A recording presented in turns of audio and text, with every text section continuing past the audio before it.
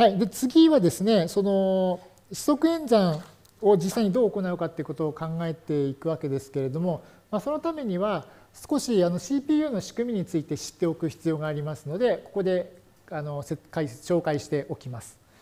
えー、何が必要かというと、まあ、1ワードの指則演算を行うための CPU にどのようなあの機構が関わっているかということですね。でこれは2つあります。1つはレジスタ、もう1つは ALU と呼ばれるものです。ALU はアリスメティックロジックユニットと呼ばれていて、あの日本語ですと算術論理演算ユニットと呼ばれる、えー、機構です。一応これ2つ、えーと、簡単に説明し紹介していきたいと思います。えー、とまず最初にレジスタですね。えー、とこれはレジスタはあのメモリの一種です。で CPU 内でその、まあ、情報ビット列を保持するメモリです。とこれはあの数値だったり、まあ、他にいろいろな情報だったり何でもいいわけですけれども、まあ、少量だが高速と書かれていて、まあ、CPU にですね大体数数数十個程度ですね現在の CPU ですと数十個程度レジスタがあります。でそのレジスタはあのさらに2種類に分かれます。えー、と1つ目は汎用レジスタと呼ばれるものでこれはあの演算対象ですとか演算結果のデータを保持するレジスタです。もう一つはあの状態レジスタと呼ばれるもので、あのこれはあの補助演算装置とも呼ばれるものですが、これは CPU の演算に伴うですね、さまざまな内部状態を保持するために使われるものです。なお、あの今回の演算で使うこの状態レジスタの機能としては、あの桁上がりの発生を示す状態っていうのをあの見るのに使います。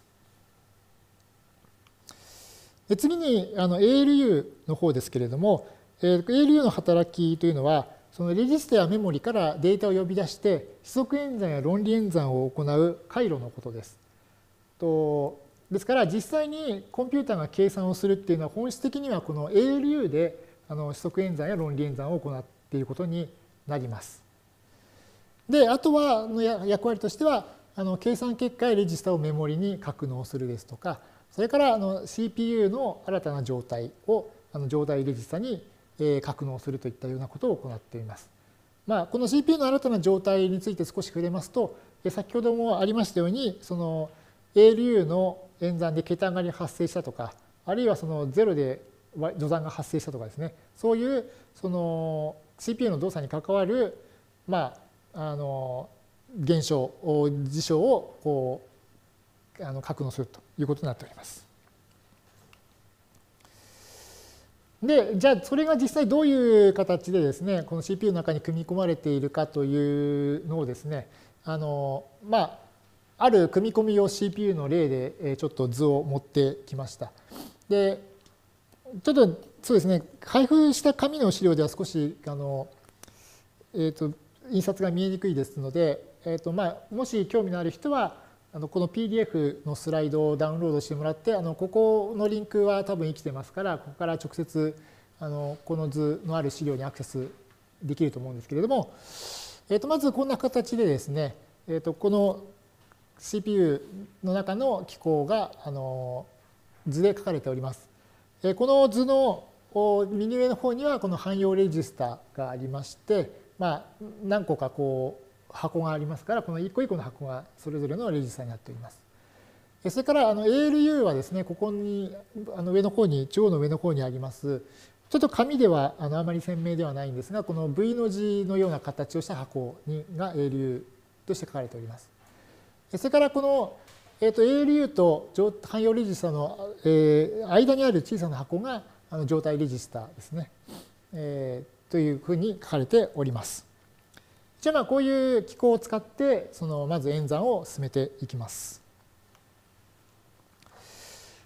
で以上を踏まえてまず1ワードの符号な指定数2個の加算を見ていきますと例えば、えーとまあ、x というレジスターがと y というレジスターがあったとして、まあ、その x と y というレジスターともにこれ長さ1ワードなんですけれども、まあ、1ワードの x という y というレジスターに収められた数値を加えてですねそれをまあ Z というこの3つ目のレジスターに格納すると。演算結果を格納するということにしましょう。でまあ、こんな形でその X と Y のレジスターの内紙にある数を加えて、まあ、Z のレジスターにこう格納するとでいうことになりますけれどもこの際にその、えー、と桁あふれですねつまり繰り上がりが起こった場合この n-1 ビット目の最上位ビットであの繰り上がりが起こった場合に、えーと、もし繰り上がりが起こった場合にはこの状態レジスタ補助演算装置というところにガンマという値があるんですがこのガンマをまあ1と置くということですね。繰り上がりがなければガンマは0で繰り上がりが発生した場合にはガンマを1と置くという形であの繰り上がり、えーと、計算結果とそれから繰り上がりの有無を、えー、記録しておきます。でこの時に実際にその数としてはどういう演算が行われたかっていうと、まあ、x プラス y を計算したらこれがあの z プラス、えー、桁上がりが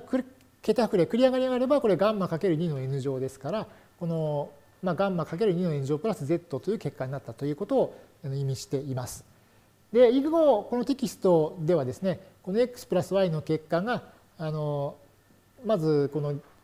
計算結果 z とそれから結桁上がりの結果ガンマの組でになりましたと、まあ、こういう形であの記す表すことにします。まずこれが1ワードの符号な指定数2個の加算です。で、これをですね、長さ k ワードの多倍調整数 a と b の加算にしますと、まあ、今のその1ワードのあの整数の加算をこう組み合わせていけばいいわけですね。でまず最初に、えー、と一番下位の桁のワードを表す、まあ、A0 と B0 のワードを加えてでそれが計算結果が C0 になりまして桁上がりが繰り上がりが発生すればこのガンマ1っていうえー、と部分がまあ1になるわけですね。で、えー、次の、えー、と桁ではあの A1 と B1 の加算の結果を C1 として、まあ、それに下の桁からの繰り上がりガンマ1を加えます。でもしここで繰り上がりが発生するとあのこのガンマ2という部分が1になると。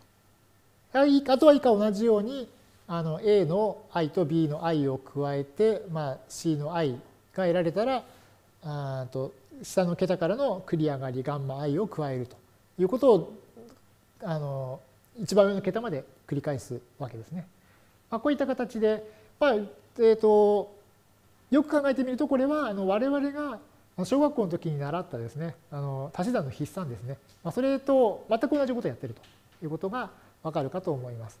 えーとまあ、我々のやっていた足し算の筆算というのは実はあのこの、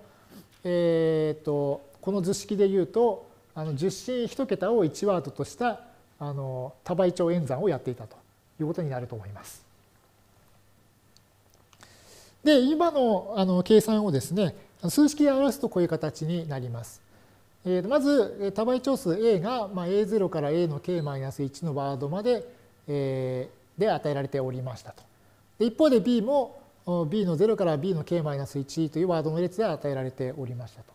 でこれに対して、えーと、計算結果として、まあ、c の0から c の k-1 のワードからなる、まあ、c を計算したいということになるわけです。ですので、えーと、まず何からどういう計算をすればよいかということは分かったので今度はこの計算の実際の先ほどの手順ですねこの図式って書いたこの手順を実際にこのアルゴリズムの形で書き下していくやり方をですねこれから紹介したいと思います。ここまでよろしいでしょうか。